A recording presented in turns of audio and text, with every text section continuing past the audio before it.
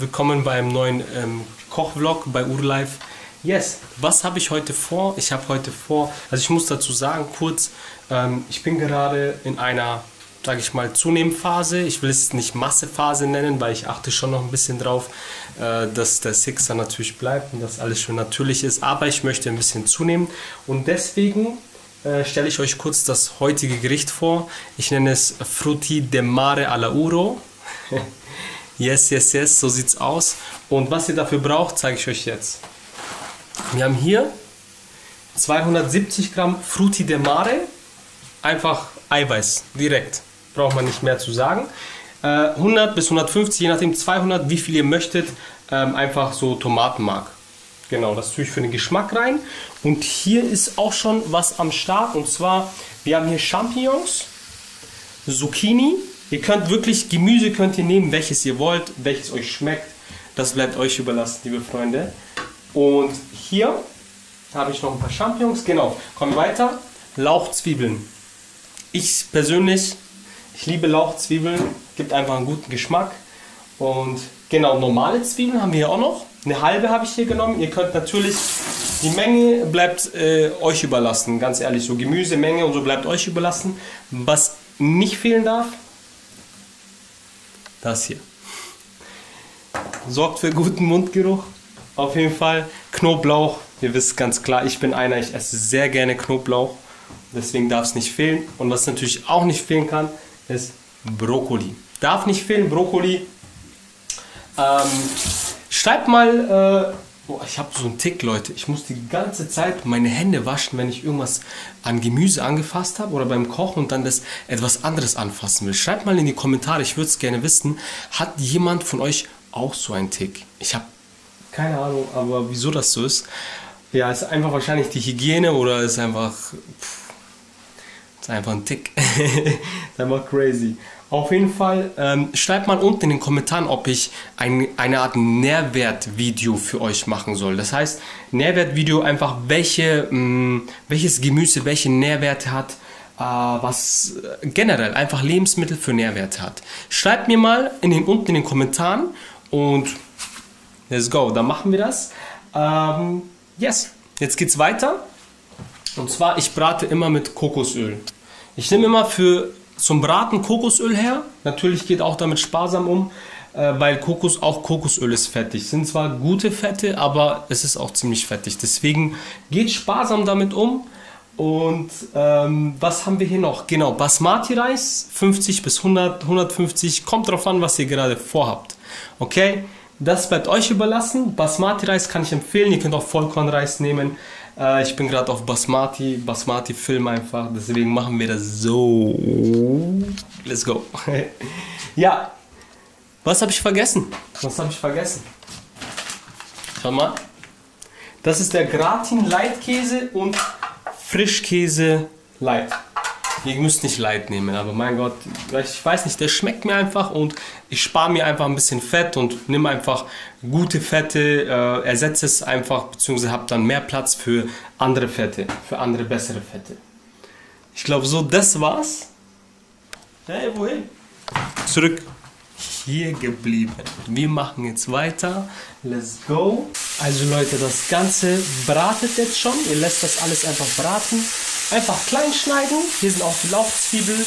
Ich lasse die Lauchzwiebel immer bis zum Schluss, weil ähm, wenn die zu viel braten, finde ich, geht zu viel Geschmack verloren. Deswegen easy.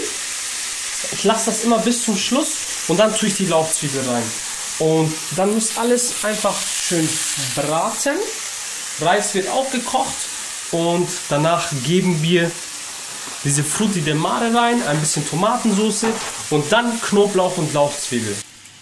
Also ich nehme die Schale und zwar, ich presse die Knoblauchzehen immer, ein kleiner Tipp, so ein bisschen zusammen, bis es knackt.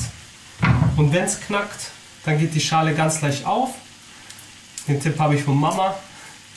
Mama an dieser Stelle vielen Dank. Und da geht die Schale auch ganz cool weg. Und falls ihr Fragen habt, so mit dem Timing, wie ihr was kochen müsst und so, schaut, dass ihr den Reis so, wenn ihr wisst, kurz davor kocht, weil der Reis braucht ungefähr 5 bis 10 Minuten. Ich habe jetzt zwar einen Reiskocher, aber der ist so groß, den nehme ich nur her, wenn ich wirklich mehr Reis koche. Natürlich nicht vergessen, das Gemüse, Gemüse immer zu waschen, Leute. Und eure Hände desinfizieren, eure Hände waschen. Ihr wisst Bescheid. so, let's go. Knoblauchzehen sind fertig. So. Schau mal, dass das hier ein bisschen, die Frutti de Mare ein bisschen schneller wird. Yes! Brokkoli warten auch schon, die wollen ins Gericht rein. Jetzt fange ich langsam an, den Reis zu kochen.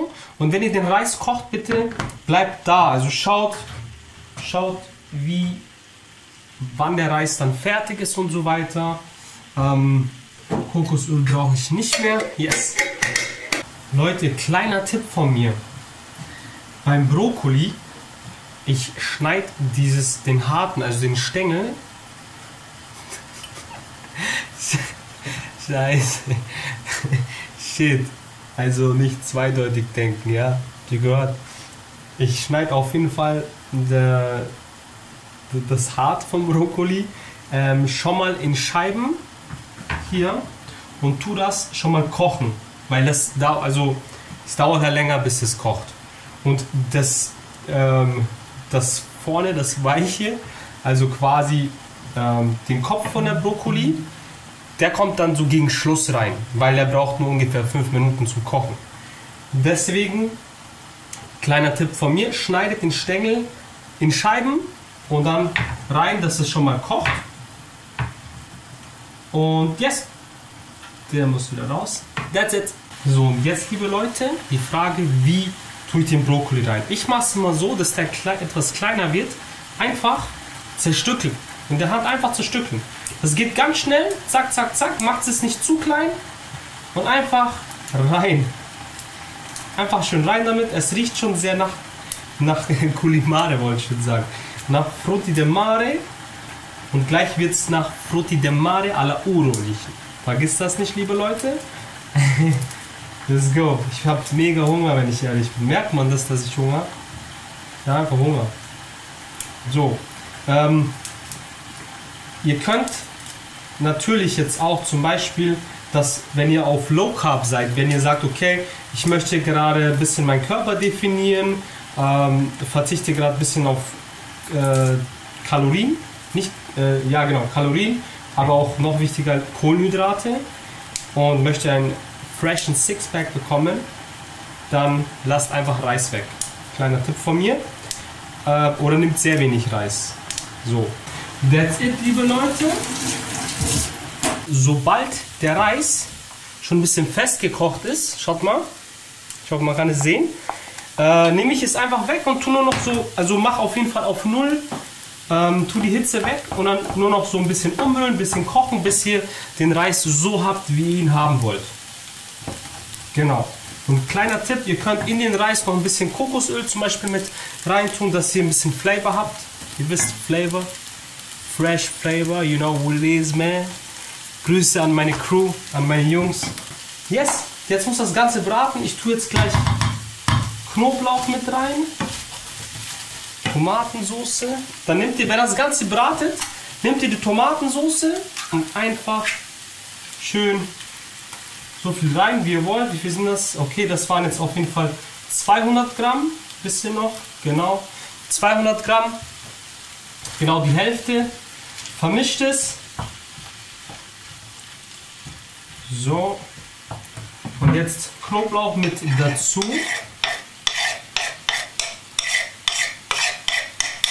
So, ihr, könnt, wenn ihr wollt, müsst aber nicht. Ich glaube, ich werde es machen, ein bisschen Wasser noch mit rein tun. Mal schauen. Und zwar so. Perfekt. Ein bisschen Wasser. Einfach, ich mache das Ganze einfach ein bisschen, damit ich ähm, das ein bisschen verdünne mit dem Tomatenmark. Und jetzt, liebe Leute, kommen wir zu den Gewürzen. Checkt das mal ab. Ich nehme auf jeden Fall rote Paprika, Pfeffer, schwarzer. Und jetzt kommt das Allerkrasseste, Leute. Einmal Rosmarin. Liebe Leute, das hier. Seht ihr das? Das ist the shit. Das sind scharfe Paprika. Ich tue die immer so ein bisschen rein. Ich zeige euch jetzt gleich mal eine. Nur bei denen ganz wichtig, wenn ihr so scharfe Paprika habt, bitte wascht eure Hände ganz gut. Schaut mal her, ich zeige es euch mal. Ich tue da mal ganz klein rein. Vorsicht damit, Leute. Weil die Dinger brennen. Ich habe mir einmal die Augen damit gewischt. Äh, gejuckt aus Versehen. Ich sag's euch, ich hatte echt Schiss. Also davon könnt ihr natürlich auch was reintun. Ich esse gerne scharf, deswegen tue ich ein bisschen mehr rein. Schaut mal bitte, kann man das sehen? Boah, oder warte, ich mach so diesen hier. Jetzt haben wir da ein bisschen rote Paprika noch rein. Alles für den Geschmack, liebe Leute. Und schwarzen Pfeffer, aber nicht so viel, weil der ist auch noch mal scharf. Okay. Und dann das Ganze nochmal vermischen. Yes. Und dann haben wir noch Rosmarin rein. Die haben wir voll vergessen. Das mal ein bisschen waschen. Und ein bisschen rein. Einfach auch nochmal. Rosmarin ist richtig geil. Also für Geschmack, Rosmarin, richtig lecker. Boah, jetzt habe ich echt Hunger bekommen, liebe Leute. Ich bin ehrlich, ich habe Hunger bekommen. Merkt man das? Boah, der Knoblauch riecht auch richtig, richtig gut, muss ich sagen. ich habe voll Salz vergessen. Ich nehme mal Salz direkt ein bisschen so. Je nachdem.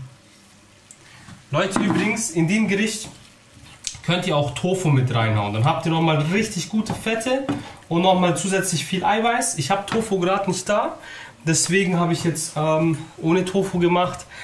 Aber ja, das war's jetzt. Ich werde das Ganze noch herrichten und dann sehen wir uns gleich.